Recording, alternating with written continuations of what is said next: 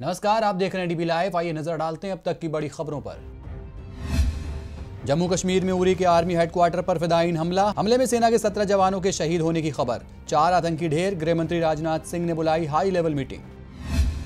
America के Manhattan में कूड़े के ढेर में भीषण धमाका। उनतीस से ज़्यादा लोग घायल। न्यूयॉर्क के मेयर बोले, आतंकी वारदात के सबूत नहीं।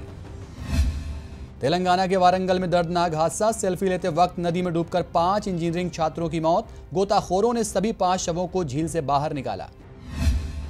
बेटे अखिलेश पर फिर बरसे मुलायम सिंह यादव। कहा 2014 में सब बातें मानी थी, सिर्फ़ पाँच सीटें ही लगी थी हाथ। और डेविस कप विश्व ग्रुप प्लेऑफ मुकाबले में हारे लिएंडर पेस और माइनेनी राफेल नडाल और मार्क लोपेस की स्पेनिश जोड़ी ने तीन ज़ीरो से दी मात। चोट की वजह से एकल मुकाबले में नहीं उतरे थे नडाल। ये तो हुई अब तक की बड़ी खबरें, देखते रहिए डीबी लाइव क्योंकि यहाँ हैं खबरें, लगातार।